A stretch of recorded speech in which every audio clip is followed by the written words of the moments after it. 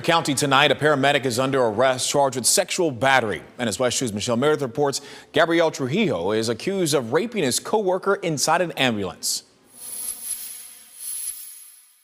Gabriel Trujillo is accused of raping a fellow paramedic in the back of the very ambulance they were assigned to work in together.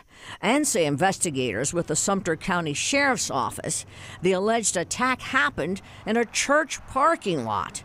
The company they work for, American Medical Response, is a private ambulance company.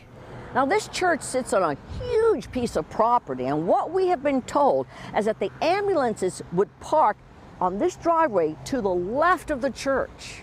According to the arrest report, on the day of the alleged attack, the victim told Trujillo, Okay, I'm going to take a nap while I can. Asked if he wanted to stretch out, he declined.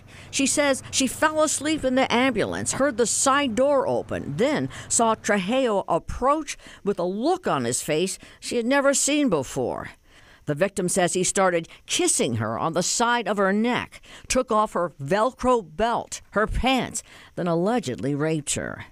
The victim told investigators when it was over, Trujillo said, Now you can lay down. She was in a total state of shock.